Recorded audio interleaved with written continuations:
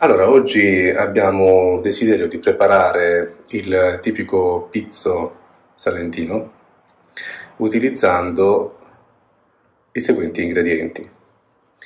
300 g di farina di semola di grano duro e poi una eh, aggiunta di salsa di pomodoro, io sto usando questa che ha dentro alcune verdure, ma va benissimo una salsa normale, 70-80 grammi di passata di polpa di pomodoro e poi eh, portare a um, un 580 grammi complessivo con la bilancia. Quindi dobbiamo riprodurre una idratazione al 80% della semola, tenendo presente che la polpa contiene quasi interamente acqua. Dopo aver aggiunto anche il lievito, un paio di grammi di lievito eh, andranno benissimo, lievito secco, 3-4 grammi di lievito fresco, se al contrario avete quello, e dopo un primo impasto questo è il risultato ma nella variante che io intendo fare andrò ad aggiungere alla fine dei pomodorini datterini perché voglio avere proprio la buccia in vita e andrò ad aggiungere triturata perché i pizzi pugliesi hanno il peperoncino una patatina hot chip ben finemente triturata vediamo cosa ne uscirà. Allora, ho steso il mio primo impasto, l'idratazione per la semola è perfetta perché appunto non è troppo appiccicoso, ora bisogna lavorarlo in modo tale da portare alla formazione della maglia glutinica, quindi andiamo a rimboccarci le maniche e a lavorarlo un attimo. Io però, prima di procedere, ecco, vorrei aprire la patatina più piccante del mondo per triturarla finemente e metterla dentro. Quindi vi faccio vedere in diretta quello che trovo dentro. Ecco, spostiamo la telecamera.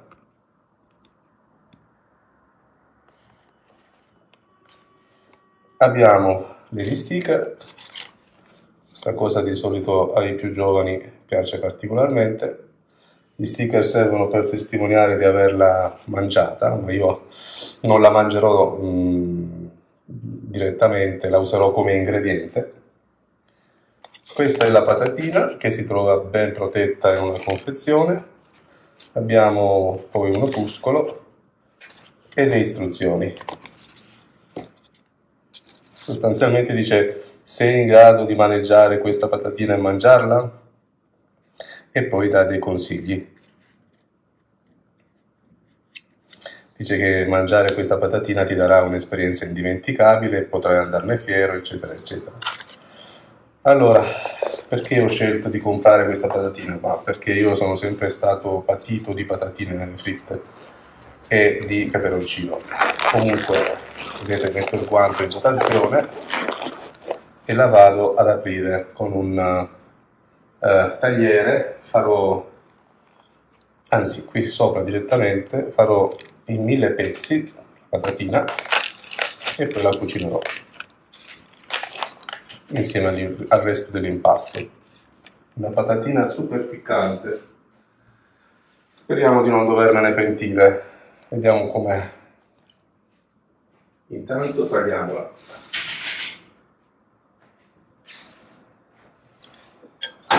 Vado a prendere un altro guanto. Mm, allora. Iniziamo così piccole briciole.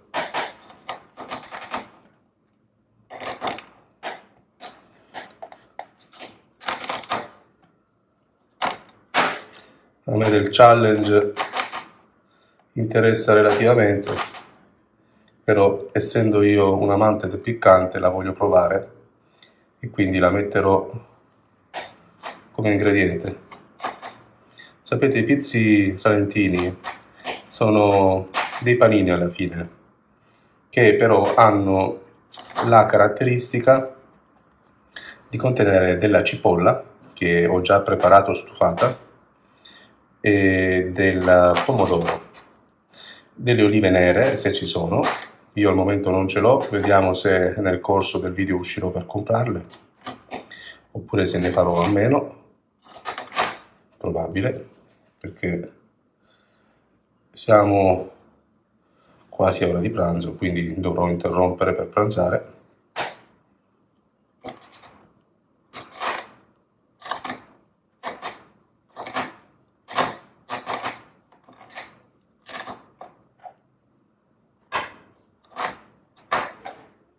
Ecco qua, ci siamo.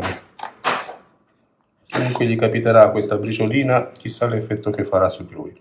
Beh, una briciolina la devo provare assolutamente perché non vado a rovinare l'impasto senza prima vedere di che si tratta. Piccola briciola, vediamo. Questa qua.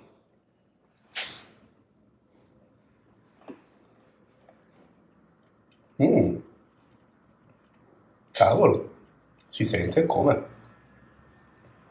E ha un retrogusto amaro.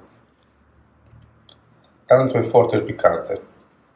Sarebbe stata impossibile da mangiare tutta, anche per me, che mi compro ogni giorno, ogni fine settimana la pizza diavola super farcita. Questo è veramente ai limiti, quindi direi che per questo impasto che ho qui di fianco una piccola quantità così dovrebbe bastare. Andiamo subito a lavorarlo così da inglobarne il contenuto. Piccola quantità. Sarà più che sufficiente. Fidatevi, è molto forte. Basta così.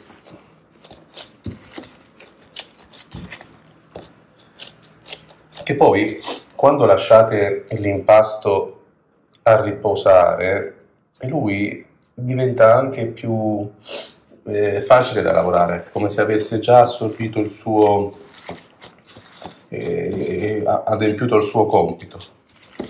Questo impasto poco fa era appiccicoso, adesso 10 minuti si è compattato ed è diventato lavorabilissimo. Allora, approfittiamo che abbiamo i guanti. Certo. Lo stendiamo bene. Facciamo più volte le stesse pieghe perché vogliamo rinforzare la maglia glutinica. E andiamo ad aggiungere anche dei pomodorini e la cipolla che daranno volume, massa e anche acqua. Quindi tornerà un pochettino meno lavorabile a un certo punto però va bene lo stesso. Allora andiamo a prendere allora pomodorini e cipolle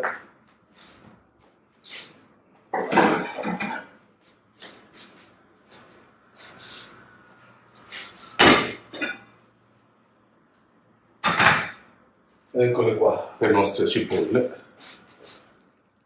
Stufate, eliminiamo l'acqua in eccesso perché non ci serve, quindi le andremo a strizzare. Ne mettiamo un pochettino. Io forse ne ho fatte di più, ma non è un problema perché andrò a fare altro per il pranzo. Quindi un pochettino di cipolle perché nel pizzo la cipolla, anche quella bianca, eh, io avevo quella rossa, ma so che si usa anche quella bianca, è perfetta non troppa perché poi resta tutta inglobata nello stesso punto, eh?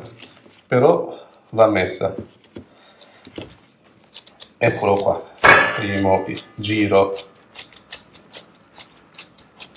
Noi la stendiamo di nuovo, vedete, io la apro così, altra cipolla, sprizziamola Queste cipolle le ho condite solo con sale abbondante perché nell'impasto non ne ho messo e olio di oliva extravergine. Quindi potete fare lo stesso anche voi. che insomma il lievito è stato aggiunto alla farina, quindi il lievito ha bisogno di sì umidità, ma certo non tanto sale. Ecco.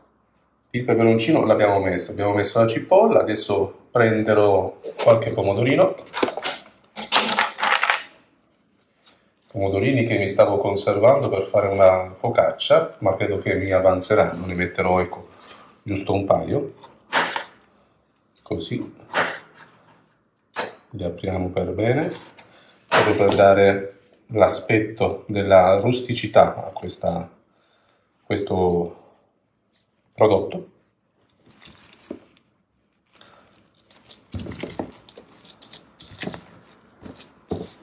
vedete che inizia ad aumentare di volume e si sente anche un pochettino più molle. Dobbiamo fare una lavorazione attenta perché la, l'impasto tende a rompersi adesso per via degli ingredienti che abbiamo aggiunto.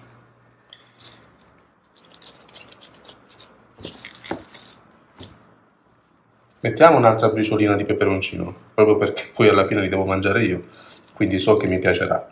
Devo dire che è bello forte, eh? complimenti a chi lo ha inventato, è stata un'ottima invenzione, però ragazzi non lo mangiate tutto insieme perché è, è dura, eh, ve lo posso confermare io, che sono un amante del peccante. Aspettiamo un poco, vediamo che l'impasto si assesti da solo. Ecco, andiamo a un attimo chiuderlo così e lo mettiamo da parte e prendiamo quest'altro che invece va ancora un attimo lavorato io preferisco dovendoli fare a mano spezzarli sin dall'inizio piuttosto che farlo dopo perché poi l'impasto, l'impasto diventa difficile. Questo si è un po' spezzato perché la maglia glutinica non ce l'ha ancora. Andiamo ad aggiungere il peperoncino subito e poi lo lavoriamo va. eccoci qua ragazzi. Andiamo a prendere un po' tutto quello che avevo della patatina e lavoriamolo l'ideale sarebbe fare queste pieghe una decina o quindicina di volte poi intervallandole con fasi di riposo. Mi raccomando sempre nella stessa direzione, quindi adesso questa di sotto sarebbe la direzione giusta perché noi abbiamo sempre piegato il quel lato, quindi o le, lo girate, vedete, e quindi poi fate così. Questo è una scelta obbligata in base al grado di idratazione dell'impasto, perché il, il, il grado di idratazione determina la, la maneggiabilità dell'impasto stesso. E più è umido, più la tecnica di lavorazione richiede un occhio per usare meno le mani, quindi si fa così, si fa così, ecco, piuttosto che capovolgerlo, ma alla fine l'obiettivo è creare diversi strati perché la maglia glutinica si sovrappongano gli strati e quindi si crei la maglia glutinica. E contemporaneamente noi andiamo a disperdere anche tutti gli ingredienti. Eccoci qua, ancora e ancora.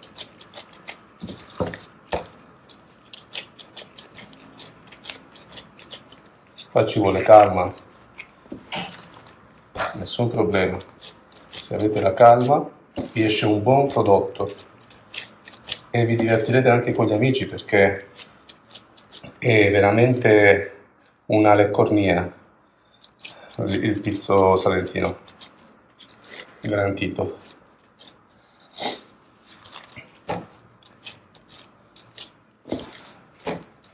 potete farlo anche dolce senza il, il piccante. Hanno fatto anche quella variante poi però io lo conosco sin da piccolo con il peperoncino e devo dire che non c'è proprio paragone. Ecco qua. Già si sente più rappreso quindi ci dovremmo essere. Ho cercato di spostarlo più vicino alla telecamera per farvelo vedere bene. Ho fatto un bel ingrandimento siamo al 2 per. Quindi ecco qua.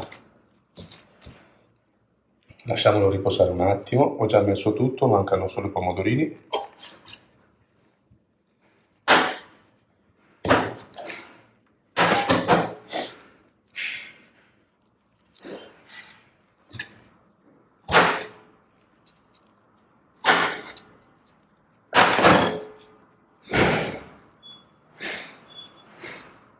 e la cipolla.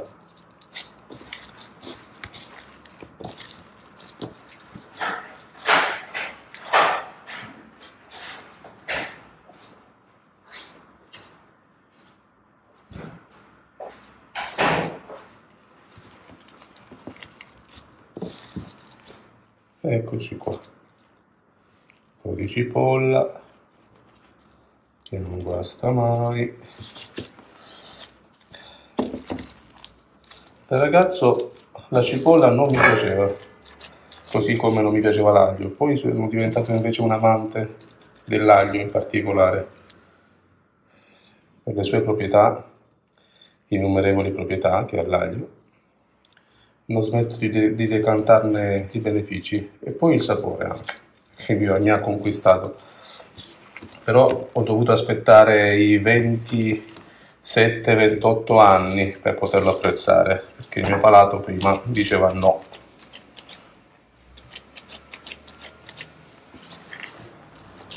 Eccoci qua, che inizia a lacerarsi un pochettino e lo facciamo riposare. Vediamo. Vediamo ora anche questo come va, che sembra essere più compatto. Ok.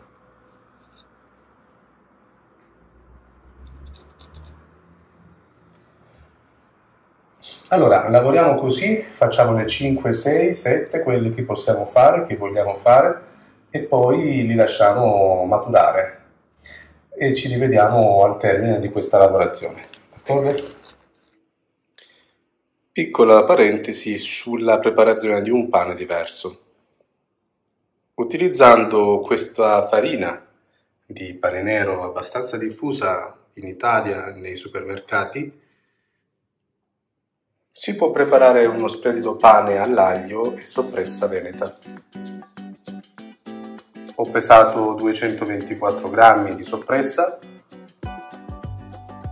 5 spicchi d'aglio o 6 per chilo di pane. La procedura di preparazione è identica al pane di semola che si fa con la cipolla che abbiamo visto già. Quindi salto tutta la fase dell'impasto per farvi vedere un risultato finale alternativo al pizzo salentino.